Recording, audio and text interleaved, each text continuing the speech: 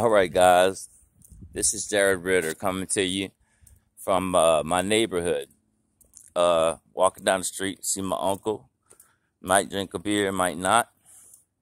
Definitely gonna smoke some, and uh, coming over here to check on everything. Uh, he's got an outside plant that I I really uh, fertilized yesterday, and I want to check it out and see how it did. See how it took my fertilizer, because uh, I don't use chemicals anymore.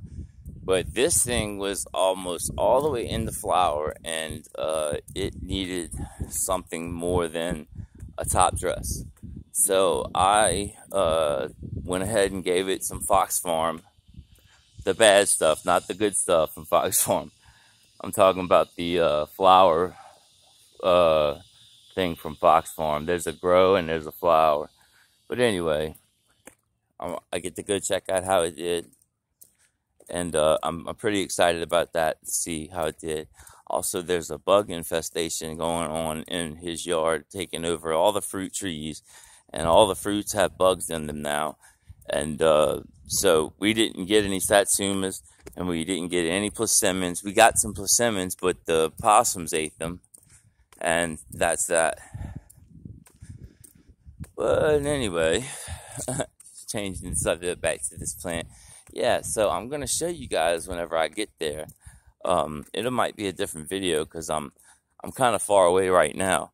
But um, I want to show you guys when I get there with the plant that I'm talking about, and uh, because it it really surprised me, and it's a Bruce Banner, and I tell you what, I've grown some Bruce Banner crosses, and they're just a really good genetics, and uh, I really like them. But everything I grow, I don't want to be Bruce Banner. I want some different stuff, you know. I want some 10 pound headband and some things like that. So I'm not just going to keep growing the same thing. That's not what we're doing here. I'm having craft variety of the newest and freshest genes on the market. And I'm going to take a seedling from this uh, fruit tree at my grandmother's house and grow another satsuma tree. And that way I'll have a satsuma tree in my yard and uh, he'll have a satsuma tree in his yard. And uh, we're passing the cop's house right now. That's why I started talking about satsumas.